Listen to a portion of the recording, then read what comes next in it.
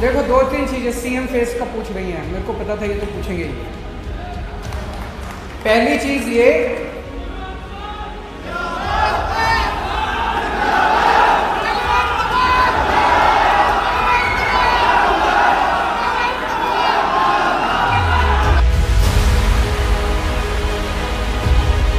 ਆਦਮੀ party ਦੇ ਕੌਮੀ convener ਅਤੇ ਦਿੱਲੀ ਦੇ ਮੁੱਖ ਮੰਤਰੀ ਅਰਵਿੰਦ ਕੇਜਰੀਵਾਲ ਪੰਜਾਬ ਦੌਰੇ ਤੇ ਨੇ।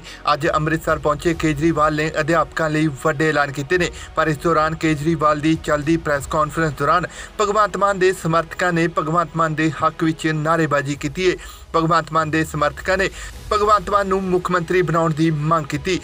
ਮਾਨ ਦੇ ਸਮਰਥਕਾਂ ਨੇ ਕੇਜਰੀਵਾਲ ਤੋਂ ਭਗਵੰਤ ਮਾਨ ਨੂੰ ਮੁੱਖ ਮੰਤਰੀ ਬਣਾਏ ਜਾਣ ਦੀ ਮੰਗ ਕਰਦਿਆਂ ਚੱਲਦੀ ਪ੍ਰੈਸ ਕਾਨਫਰੰਸ ਦੌਰਾਨ ਹੀ ਨਾਅਰੇਬਾਜ਼ੀ ਕਰਨੀ ਸ਼ੁਰੂ ਕਰ ਦਿੱਤੀ ਜਿਸ ਤੋਂ ਬਾਅਦ ਕੇਜਰੀਵਾਲ ਨੇ ਮੁੱਖ ਮੰਤਰੀ ਦੇ ਚਿਹਰੇ ਨੂੰ ਲੈ ਕੇ ਵੱਡਾ ਖੁਲਾਸਾ ਕੀਤਾ ਹੈ देखो दो तीन चीजें सीएम फेस का पूछ रही हैं मेरे को पता था ये तो पूछेंगे ही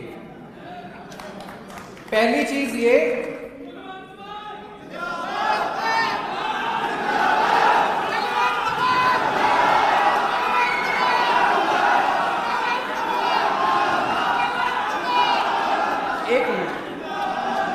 को जवाब देने का मेरे को पता था, ये पूछेंगे।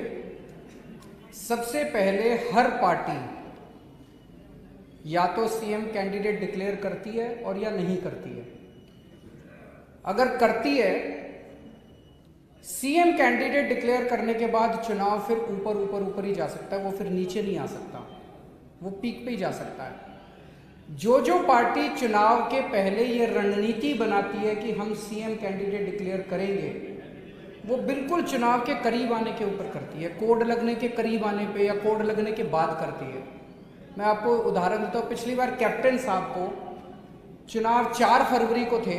कैप्टन साहब को एक हफ़्ता पहले कांग्रेस ने सीएम कैंडिडेट डिक्लेयर किया था। अभी तक कांग्रेस पार्टी ने रूलिंग पार्टी है पंजाब की उन्होंने अपना सीएम क्या वो नहीं बता रहे कि सिद्धू साहब बनेंगे, कि रंधावा बनेंगे, कि चन्नी साहब को ही कंटिन्यू करेंगे। वो अभी बता ही नहीं रहे। उधर उत्तर प्रदेश में चले जाओ। उत्तर प्रदेश में योगी साहब को उनके डिप्टी सीएम तीन, दो, तीन डिप्टी सीएम सारे कह रहे हैं, जी, इस बार सीएम कैंडिडेट नहीं करेंगे। हम तो लोटस पे, कमल पे चुनाव लड़ेंगे।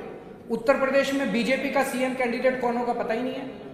उत्तराखंड के अंदर बीजेपी का सीएम कैंडिडेट कौन होगा पता ही नहीं। कांग्रेस का सीएम कैंडिडेट कौन होगा? हरीश रावत होंगे कि उनके, वो होंगे पता ही नहीं।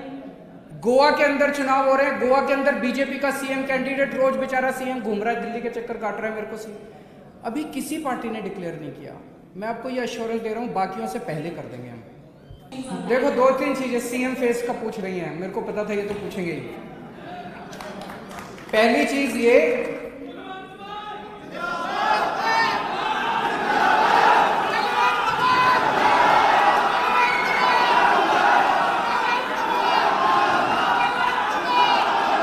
एक मिनट। मेरे को जवाब देने दो। मेरे को पता था ये पूछेंगे।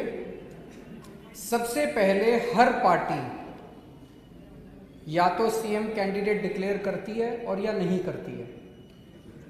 अगर करती है सीएम कैंडिडेट डिक्लेयर करने के बाद चुनाव फिर ऊपर ऊपर ऊपर ही जा सकता है, वो फिर नीचे नहीं आ सकता। वो पीक पे ही जा सकता है। जो जो पार्टी चुनाव के पहले ये रणनीति बनाती है कि हम सीएम कैंडिडेट डिक्लेयर करेंगे, वो बिल्कुल चुनाव के करीब आने के ऊपर करती है। कोड लगने के करीब आने पे या कोड लगने के बाद करती है।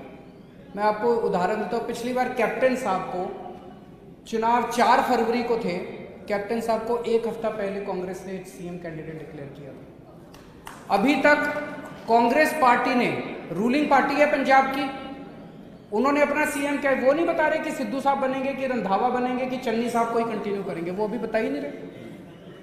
उधर उत्तर प्रदेश में चले जाओ। उत्तर प्रदेश में योगी साहब को उनके डिप्टी सीएम तीन, दो, तीन डिप्टी सीएम सारे कह रहे हैं, जी, इस बार सीएम कैंडिडेट नहीं करेंगे। हम तो लोटस पे, कमल पे चुनाव लड़ेंगे। उत्तर प्रदेश में बीजेपी का सीएम कैंडिडेट कौन होगा पता ही नहीं है। उत्तराखंड के अंदर बीजेपी का सीएम कैंडिडेट कौन होगा पता ही नहीं। कांग्रेस का सीएम कैंडिडेट कौन होगा? हरीश रावत होंगे कि उनके, वो होंगे पता ही नहीं। गोवा के अंदर चुनाव हो रहे हैं। गोवा के अंदर बीजेपी का सीएम कैंडिडेट रोज बेचारा सीएम घूम रहा है, दिल्ली के चक्कर काट रहा है मेरे को सीएम। अभी किसी पार्टी ने डिक्लेयर नहीं किया। मैं आपको ये अश्योरेंस दे रहा हूँ, बाकियों से पहले कर देंगे हम। ਦੱਸਦੀਏ ਕਿ ਆਮ ਆਦਮੀ ਪਾਰਟੀ ਵਿੱਚ ਮੁੱਖ ਮੰਤਰੀ ਦਾ ਉਮੀਦਵਾਰ ਐਲਾਨਣ ਨੂੰ ਲੈ ਕੇ ਵੱਡਾ ਵਿਵਾਦ ਛਿੜਿਆ ਹੋਇਆ ਹੈ। ਆਪ ਵਿਧਾਇਕਾ ਰੁਪਿੰਦਰ ਕੌਰ ਰੂਬੀ ਤੋਂ ਲੈ ਕੇ ਵਿਧਾਇਕ ਜਗਤਾਰ ਸਿੰਘ ਜੱਗਾ ਤੱਕ ਮਾਨ ਨੂੰ ਮੁੱਖ ਮੰਤਰੀ ਐਲਾਨੇ ਜਾਣ ਨੂੰ ਲੈ ਕੇ ਪਾਰਟੀ ਛੱਡ ਚੁੱਕੇ ਨੇ। ਅਜਿਹੇ ਵਿੱਚ ਆਮ ਆਦਮੀ ਪਾਰਟੀ ਦਾ ਖੇਮਾ ਹੌਲੀ-ਹੌਲੀ ਛੋਟਾ ਹੁੰਦਾ ਜਾ ਰਿਹਾ ਹੈ। ਦੂਜੇ ਪਾਸੇ ਆਪ ਦੇ ਸਮਰਥਕ ਵੀ ਭਗਵੰਤ ਮਾਨ ਨੂੰ ਮੁੱਖ ਮੰਤਰੀ ਦਾ ਚਿਹਰਾ ਦੇਖਣਾ ਚਾਹੁੰਦੇ ਨੇ, ਜਦਕਿ ਕੇਜਰੀਵਾਲ ਹਾਲੇ ਆਪਣੇ ਪੱਤੇ ਖੋਲ੍ਹਣ ਨੂੰ ਤਿਆਰ ਹੀ ਨਹੀਂ। ਪਰ ਮੰਨਿਆ ਜਾ ਰਿਹਾ ਹੈ ਕਿ 99% ਵਰਕਰ ਅਤੇ ਆਗੂ ਭਗਵੰਤ ਮਾਨ ਨੂੰ ਮੁੱਖ ਮੰਤਰੀ ਦਾ ਚਿਹਰਾ ਦੇਖਣਾ ਚਾਹੁੰਦੇ ਨੇ, ਜਿਸ ਕਾਰਨ ਮੰਨਿਆ ਜਾ ਰਿਹਾ ਹੈ ਕਿ ਕੇਜਰੀਵਾਲ ਵੀ ਅੱਜ ਨਹੀਂ ਤਾਂ ਕੱਲ ਮਾਨ ਦੇ ਨਾਮ ਤੇ ਹੀ ਮੋਹਰ ਲਾਉਣਗੇ। ਪਰ ਆਖਿਰ ਵਿੱਚ ਕੀ ਹੁੰਦਾ ਇਹ ਤਾਂ ਸਮਾਂ ਹੀ ਦੱਸੇਗਾ। ਬਿਊਰੋ ਰਿਪੋਰਟ, ਪੰਜਾਬੀ ਲੋਕ ਚੈਨਲ।